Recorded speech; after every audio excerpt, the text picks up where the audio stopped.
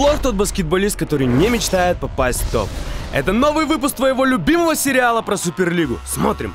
Десятое место. Начнем с десерта. Кто хочет отведать банановый чизкейк по самарскому рецепту? Александр Савинков накрывает топовых бойлеров, как столы на Рождество. Не блокшот, а праздник какой-то. Девятое место. Такие, как он, не боятся преград на пути.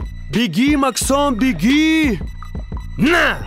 Максим Барашков пробежал по прямой от столицы до Приморья через всю страну и как следует воткнул сверху. Если дорога ведет в топ, то это правильный маршрут. Восьмое место. Глазунов, Глазунов уничтожит всех врагов.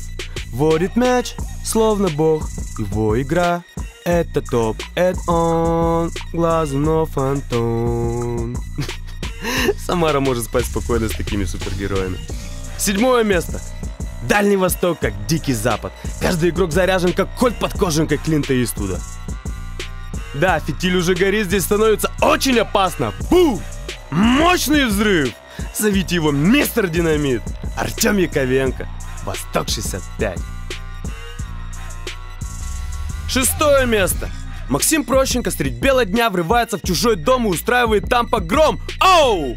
Даже сигнализация не сработала. Классная передача от Игоря Вольхина с отскоком от пола на выпавшего из поля зрения защитников Максима. Сокрушительный данк в завершение, как расплата за невнимательность. Пятое место. Его игра прекрасна, как поэзия. Может и не пушкинская эра, но все же, о боже! Максим Морозов – птица высокого полета. Зацените еще раз, как он красиво ушел от блокшота. Как будто вышел из клетки с тигром, без единой царапины. На четвертом месте настоящий подвиг латвийского форварда-буревестника. В матче с Уралом Артем Бутянков за 20 секунд забивает 8 очков, перехватывает лидерство и удерживает его вместе с командой до конца встречи. Именно героический рывок латыша в третьей четверти становится переломным моментом в игре. Буревестник обыгрывает Урал, Артем записывает в свой актив дабл-дабл, набрав 22 очка и 10 подборов. Что это, если не good work?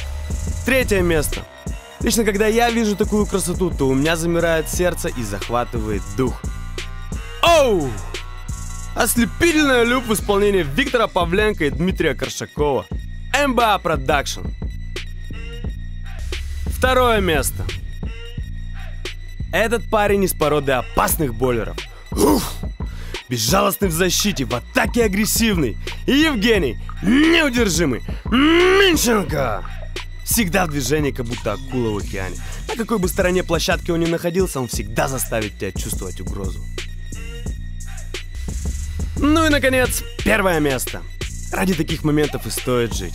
Равный счет на табло, последние секунды игры. Дюк смажет, что дальше? О, все-таки это задачка по зубам для игры.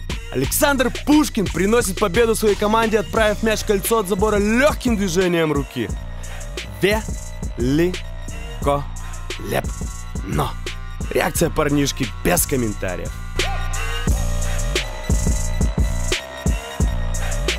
Это была десятка лучших моментов второй половины января. RussiaBasket.ru Люби эту игру!